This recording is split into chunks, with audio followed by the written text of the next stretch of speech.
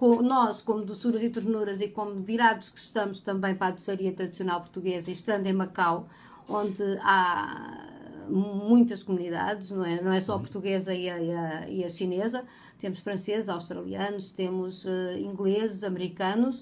Uh, uh, a pastelaria tradicional portuguesa acaba também por ser diferente de, de, de, do, do, normal, do usual, e também artesanal, porque eu faço-a artesanalmente, não é? Não, não, não, não há cá uh, fabrico em série, não há moldes e não há essas coisas assim, portanto é tudo feito à mão.